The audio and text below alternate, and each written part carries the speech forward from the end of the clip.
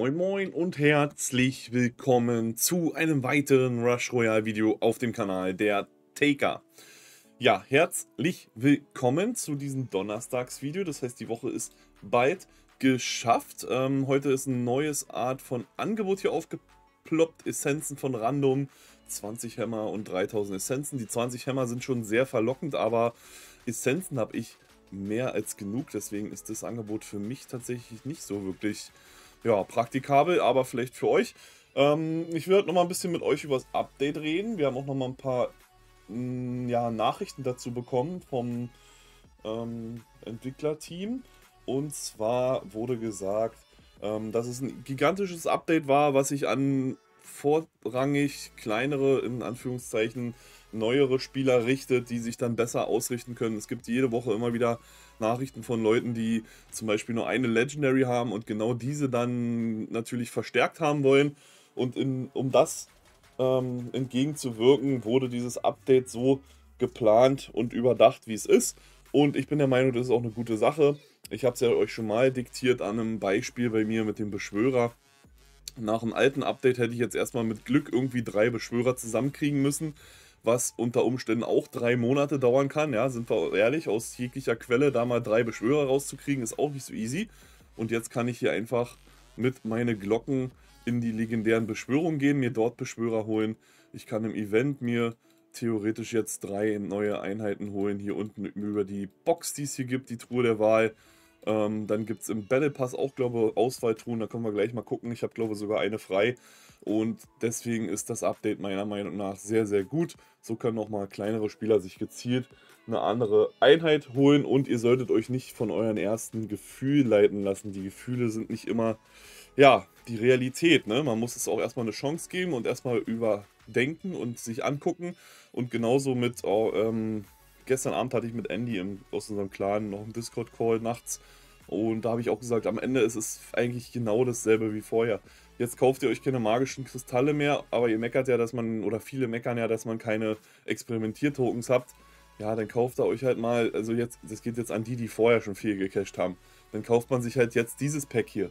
Am Ende ist es doch äh, wahrscheinlich, wenn man es mal überschlagen würde in der Statistik, genau dasselbe, ob ich mir jetzt hier Experimentiertokens kaufe oder halt magische Kristalle, nur dass ich so etwas gezielter auf mein Ziel komme. Ja, es werden sich äh, Probleme auf jeden Fall angeschaut ähm, und über die Season jetzt und geguckt, wo wirklich große Probleme ausgemacht werden und die werden auch angegangen. Einige Sachen, die jetzt schon auf der Liste stehen, sind Matchmaking inklusive Bots. Dazu Ereignisse auf die Bequemlichkeit der Auswahl der Dinge, was auch immer das genau bedeutet.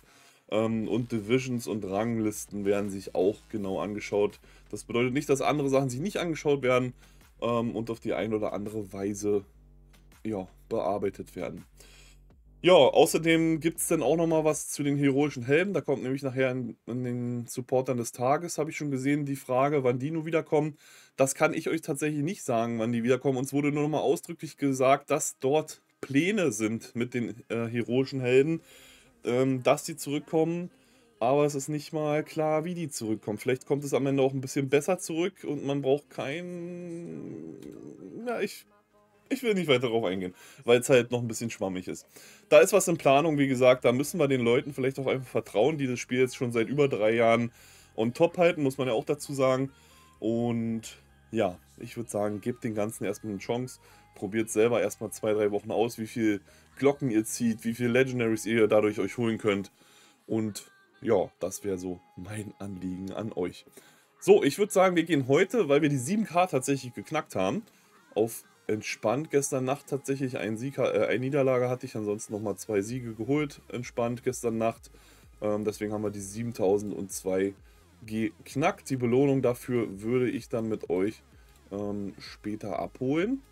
Und wir können mal gucken, der Legendenshop ist jetzt frei. Theoretisch könnten wir uns jetzt hier Hämmer kaufen oder auch Medaillen. Und hier, ich habe schon fast überlegt, ob ich hier reingehe in die Amulette. Fünfmal zumindest, aber es wären 1000 davon. Ich habe nicht mal 1000. Das heißt, ich müsste mir kaufen. Hm, müsste ich hier 2000 Kristalle ausgeben, um 1000 Fragmente zu bekommen. Ich glaube, das ist am Ende nicht so ein guter Deal. Hm, werde ich wahrscheinlich lassen. Mal schauen. So. Ähm, ja, und deswegen hatte ich überlegt, dass wir heute nochmal zusammen auf entspannt in das Event gehen und uns hier noch ein, zwei Siegesrausch-Packs vielleicht holen. Also hier Siege. Und dann würde ich gerne mal so eine Kiste hier aufmachen und schauen, ob da vielleicht 0 bis 3 irgendwas rausspringt. Das wäre doch ganz cool. Mal schauen. So, wir nehmen den Tesla. Mm, ja, komm, Ritterstatue geht. Schreddermeister. Ja, ein bisschen Bonus-Mana vielleicht. Und Harlequin, gar nicht schlecht. Und dazu nehmen wir uns einen Trickser. So. Ja, wir müssen Kette nehmen. Professor auf dem ersten Talent bringt nicht wirklich viel. Und dann würde ich Pakt des Veteranen nehmen. Verschrottung und das sollte passen. Let's go. Rein da. Fallen Origins. Fast ein identisches Deck. Naja, nicht ganz. Ist schon ziemlich ähm, anders. Wir schauen mal. Dann hier hin. Und zack.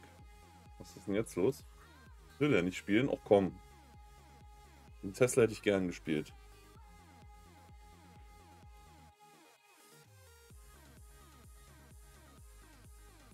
Ja, Kette mit dem Talent ist eigentlich auch nicht so schlau.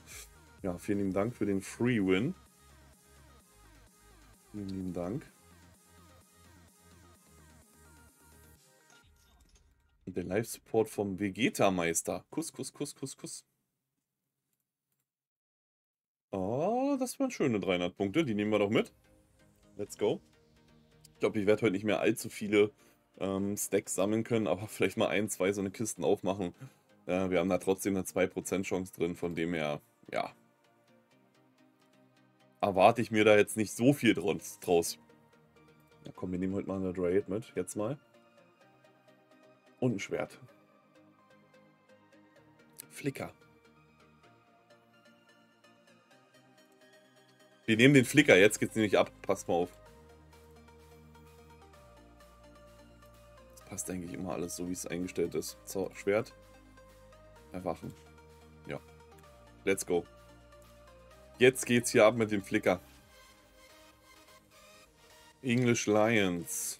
Da können wir nämlich Überflüssiges dann weghauen mit. Das heißt, wir gehen hier rein.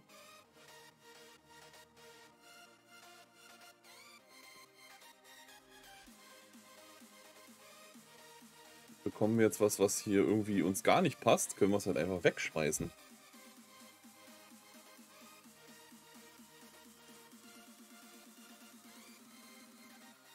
Das ist auch mal was. Zum Beispiel den. Bam, und weg. Mal schauen ob das irgendwie, ob das irgendwie gut ist, was wir hier machen. Schauen wir mal.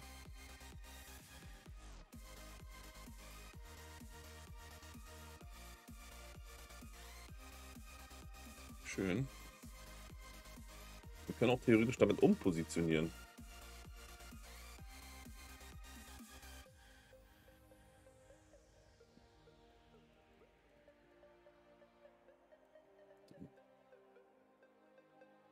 Können wir auf ein leeres Feld? Ich glaube nicht, ne? Ne, leeres Feld geht nicht.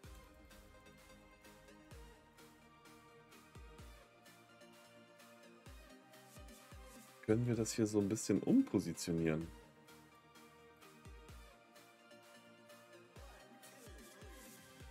Eigentlich gar nicht schlecht. Ich glaube, das ist auch noch ziemlich neu, dass der da mit drin ist.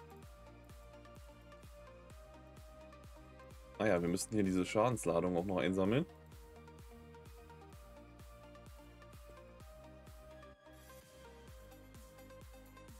Zack.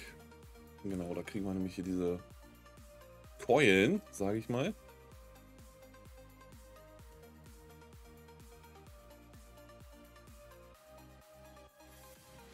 Ich würde sagen, wo ist das Feld jetzt hin? Ich sehe es gar nicht mehr.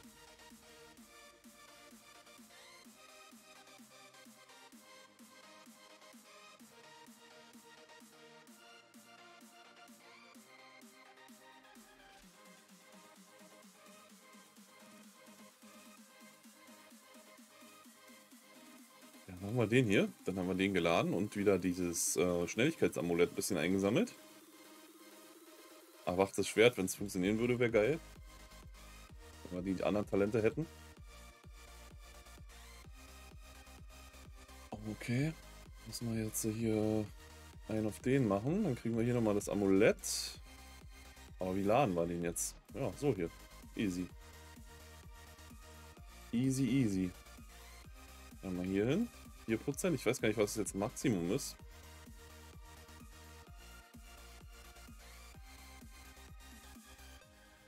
Sieben war, glaube ich, das Maximum oder sowas, ne?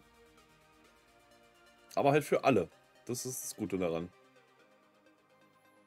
Sehr schön. Roboter als Gegner. Mal schauen. Roboter hält auch lange durch, ne? Wenn man PvP so gegen den spielt. Der kann schon lange durchhalten. Okay, ich wollte mal ausprobieren, ob das hier irgendwie vielleicht reicht. Das reicht nicht aus.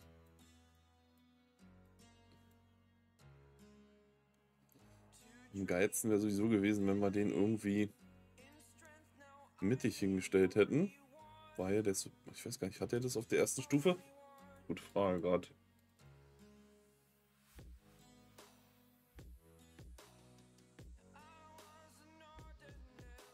Wo sind unsere Amulette? Hier unten ist eins und dort auch. Ne, warte mal, dann ziehen wir den Einser dahin. Mal kurz. Dann können wir da nämlich entspannt drauf merchen.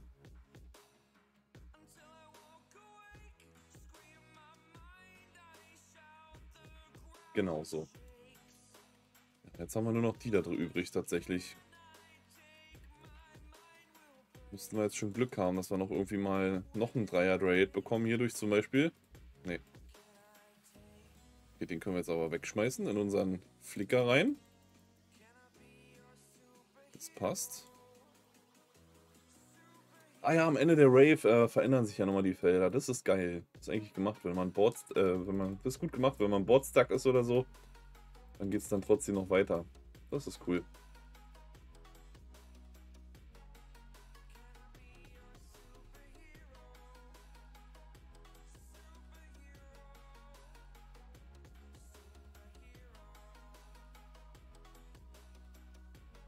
Sieht gut aus mit unserem Deck hier.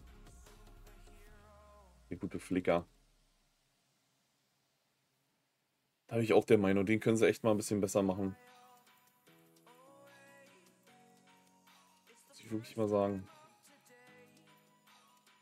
Flicker for President Cover.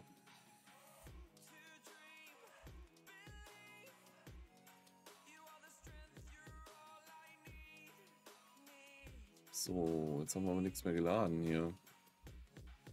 Oh, der hittet uns echt. Mies.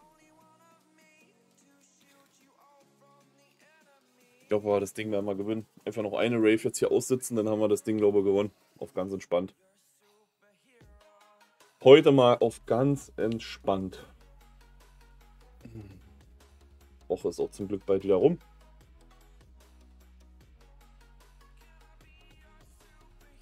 Ich sitze das jetzt aus hier, oder? Oder wird es zu knapp mit Aussetzen?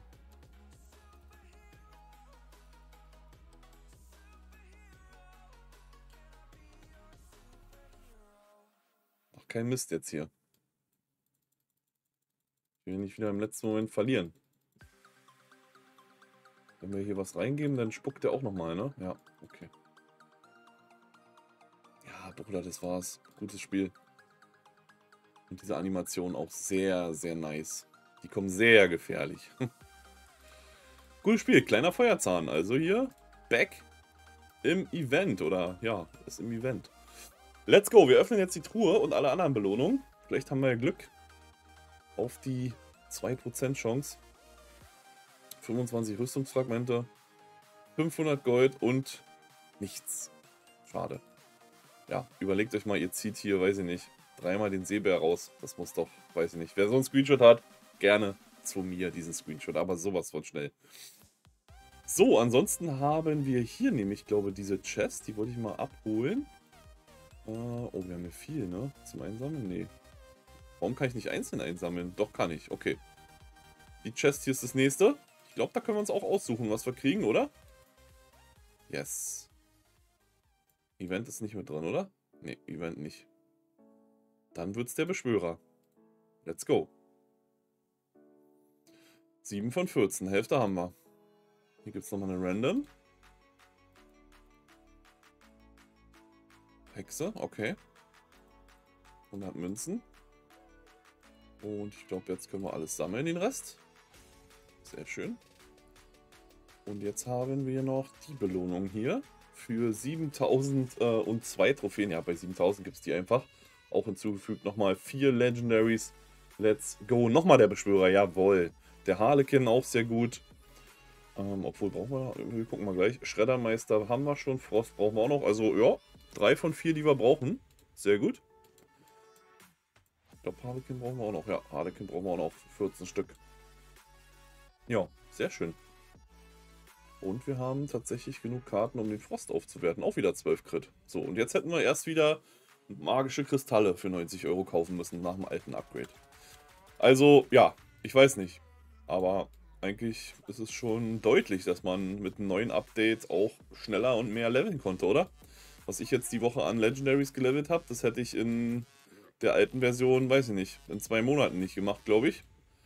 Aber, ja, lasst es erstmal ein bisschen auf euch zukommen. Oh, was gibt es hier nochmal? Epischen Token. Let's go. Und erstmal ein bisschen Zeit geben, dem Update. Und ja, das wäre so meine Bitte an euch. Und dann würde ich sagen, kommen wir zu den Supportern des Tages. Angefangen mit Alex Proxy. Danke für die guten Videos, sehr gerne. Everlast ist mit am Start.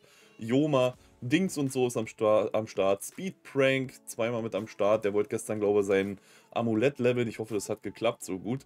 Ähm, vielen lieben Dank. Flamongo ist mit am Start. Servus, Error. Michael ist am Start. Ähm, DN Greg. Dann der Sci-Fi. Ab wann darf man die Eventhelden, wie zum Beispiel Zeus, mit den neuen Eventwährungen kaufen? Wie gesagt, hatte ich vorhin schon drauf so geantwortet, so wie ich es kann und wie ich es weiß.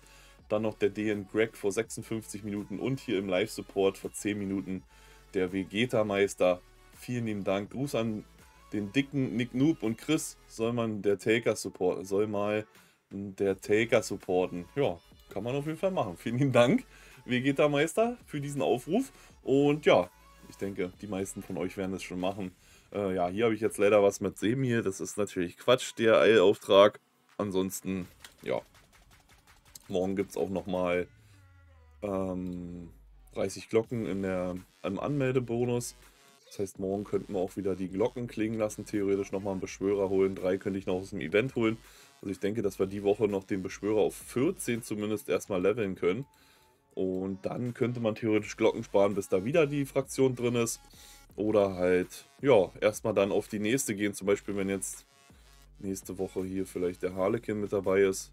Man weiß es nicht. Dunkle Domäne, werden wir sehen. Und dann werde ich das, ja, danach entscheiden, wie wir das machen. Ansonsten bedanke ich mich bei allen Supportern des Tages, bei allen, die das Video schauen und bei allen, die einfach den Kanal hier supporten. Das könnt ihr auch tun, falls ihr es noch nicht gemacht habt, indem ihr einfach ein kostenloses Abo hier rein flattern lasst, vielleicht die Glocke aktiviert. Das würde mich sehr, sehr supporten. Und dann, ja, könnt ihr gerne morgen 18 Uhr wieder vorbeischauen. Würde ich mich drüber freuen.